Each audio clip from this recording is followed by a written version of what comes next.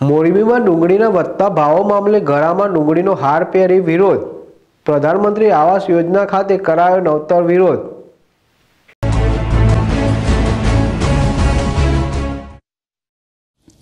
હાલ ગુજરાત અને દેશભરમાં ગરીબોની કસ્તુરી એવી ડુંગળીના ભાવો આસમાને પહોંચ્યા છે, જેથી ગરીબોને ડુંગળી રડાવી રહી છે અને દેશભરમાં વિરોધ જોવા મળે છે. જેમાં આજે મોરબીમાં સામાજિક કાર્યકરોએ ગળામાં ડુંગળીનો હાર પહેરી વિરોધ નોંધાવ્યો હતો. ડુંગળીના ભાવો આસમાને પહોંચ્યા છે અને ગરીબોની થાળીમાંથી ડુંગળીની બાદબાકી જોવા મળે તેવી સ્થિતિ સર્જાઈ છે.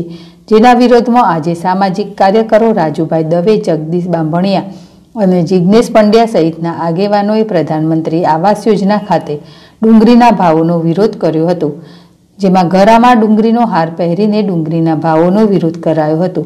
તેમજ આ તકે મહિલાઓએ પણ પોતાની વ્યથા ઠાલવી હતી. અને વધતા ડુંગળીના ભાવો કાબૂમાં લેવા સરકાર તાકીદે પગલાં લે તેવી માંગ કરી હતી.